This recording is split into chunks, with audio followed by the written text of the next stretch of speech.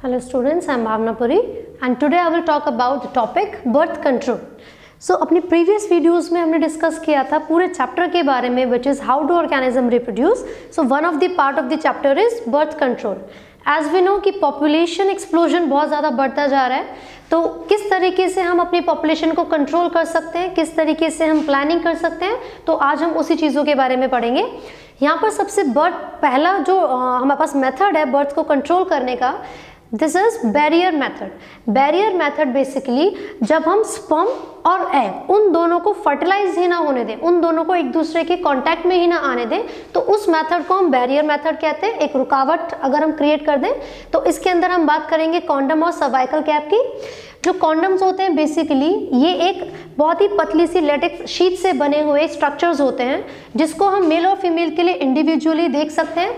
Mail के लिए हम उसको यूज़ कर सकते हैं टू कवर द पेनिस ताकि जैसे ही स्पम रिलीज़ हो तो वो पॉपुलेशन के दौरान या मीटिंग के दौरान फीमेल की बॉडी के अंदर एंट्री ना ले सके।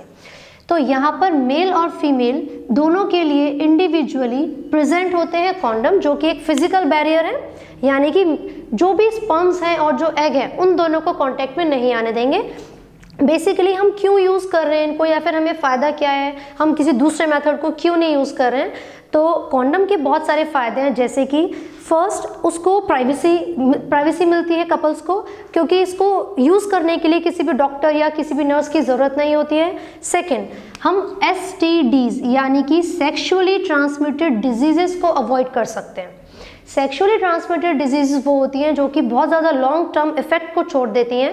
ये बैक्टीरियल या वायरस से होने वाली डिज़ीज़ भी हैं, जो कि सेक्सुअल कांटेक्ट के थ्रू होंगी। अगर मैं वायरस से होने वाली कोई STD की बात करूँ तो सबसे ज़्यादा कॉमन एचआईवी से होने वाली बीमारी है, यानी कि एड्स और अगर मैं एक बैक्टीरियल डिसऑर्डर की बात करूँ तो gonorrhoea you must have heard about gonorrhoea and syphilis तो ये वो डिजीजेज हैं जो कि बैक्टीरिया से होती हैं एंड एड्स एंड वॉट्स वो डिज़ीज़ हैं जो कि वायरल डिसऑर्डर है।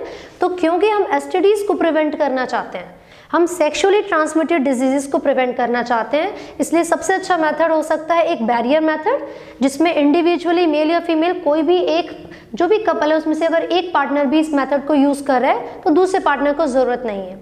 सो so, इसके बाद हम देखेंगे कि जो दो यूजेज़ हमने पढ़े कि हम आ, प्राइवेसी मिलती है या फिर एस को प्रिवेंट कर सकते हैं। तीसरा होता है डिस्पोजेबल हमें इसको बाबा यूज़ करने की ज़रूरत नहीं है। यूज़ एंड थ्रो कर सकते हैं इसके अंदर। नेक्स्ट है सर्वाइकल कैप जिसको हम फीमेल की बॉडी के अंदर इंट्रोड्यूस करवा सकते हैं। इसके लिए भी हम जो फीमेल की बॉडी है वजाना के थ्रू हम इसको इंसर्ट कर सकते हैं, जो कि प्रिवेंट करती है मेल गैमेट्स यानी कि स्पम्स की एंट्री को। चलिए, इसके बाद हम सेकेंड मेथड पढ़ रहे हैं केमिकल मेथड केमिकल मेथड में हम पिल्स के बारे में भी डिस्कस करेंगे, जैसे कि ओरल पिल्स ओरल यहाँ पर इसलिए लिखा है क्योंकि ये वो टैबलेट्स हैं जो माउथ के थ्रू इंसर्ट की जाती हैं, ली जाती हैं. इसमें हम मालाडी का एक एग्ज़ाम्पल ले सकते हैं एंड सहेली. ये दोनों ऐसे टैबलेट्स हैं जो कि बर्थ कॉन्ट्रोसेप्टिव्स कहलाती हैं या फिर बर्थ को कंट्रोल करने के लिए ली जाती हैं यूज़ की जाती हैं. उसके बाद जो सर्जिकल मेथड है सर्जिकल मेथड बहुत ज़्यादा इफ़ेक्टिव है, लेकिन एक और चीज़ इसके अंदर हम केमिकल के अंदर पढ़ सकते हैं, जिसमें हम copper T copper T as the name suggest ये एक ऐसा स्ट्रक्चर है फिर एक ऐसा बैरियर है जिसके मदद से हम कॉपर के आयंस को रिलीज़ करवा सकते हैं। जैसे ये कॉपर के आयंस रिलीज़ होंगे बेसिकली ये करते क्या हैं? स्पर्म्स की मोटिलिटी को सप्रेस कर देते हैं। ड्यूरिंग कॉपुलेशन जैसे ही स्पम्स फीमेल की बॉडी में इंट्रोड्यूस होते हैं, ये जो कॉपर्टी फीमेल के बॉडी के अंदर रिप्रोडक्टिव ट्रैक के अंदर इंट्रोड्यूस्ड है, ये एक टी शेप स्ट्रक्चर है, इसलिए इसको कॉपर्टी बोले। यहाँ पर दो थ्रेड लाइक स्ट्रक्चर होते हैं, जिसकी मदद से इसको इंट्रोड्यूस करवाया जाता है। ये डिफरेंट टर्म्स के लिए इंट्रोड्यूस करवाई जाती है। तो बेसिकली करते क्या है? कॉपर आयंस को सिक्रेट करती है। जो भी कॉपर आयंस फीमेल की बॉडी में रिलीज़ हुए हैं, वो जो मेल से आने वाले स्पर्म हैं, उनकी मोटिलिटी को सप्रेस कर देते हैं। साथ साथ जो यूट्रस है, अगर इन केस फर्टिलाइजेशन हो भी जाती है तो वो यूट्रस को अनस्टेबल बना देते हैं, ताकि इम्प्लांटेशन ना हो सके। तो ये जो दोनों मेथड्स हैं बैरियर मेथड जिसमें हम इनके बारे में पढ़ेंगे, और केमिकल मेथड जिसमें हम पिल्स और कॉपर्टी के बारे में पढ़ते हैं। इसके बाद जो सर्जिकल मेथड है, इसमें हम पढ़ते हैं विसेक्टोमी एंड ट्यूबैक्टोमी इन दोनों ही मेथड्स यानी कि सर्जिकल मेथड के दोनों ही टर्म्स के अंदर, इसका सबसे ज़्यादा फ़ायदा ये है कि वो एवर लास्टिंग होता है। बट जो रिवर्सिबिलिटी है, उसके चांसेस बहुत ही पुअर है।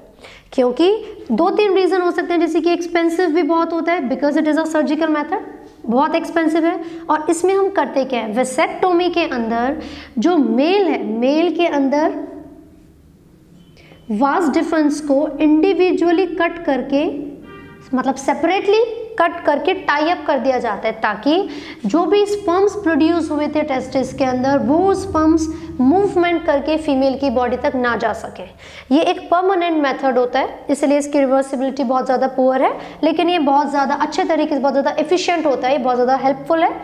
ये तो हो गया वेसेक्टोमी जिसके अंदर हम वास डिफेंस को सेपरेटली कट करके टाई अप कर देते हैं सो दैट ये जो स्पर्म्स हैं वो ड्यूरिंग कॉपुलेशन फीमेल की बॉडी तक एंट्री ना ले सके।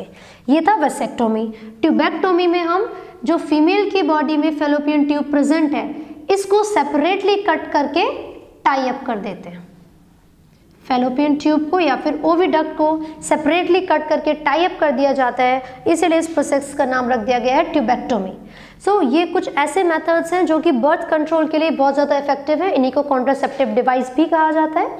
इन्हीं मेथड्स का यूज़ करके हम अपनी पॉपुलेशन को भी कम कर सकते हैं या फिर हम बोल सकते हैं एक्सपोजन से रोक सकते हैं।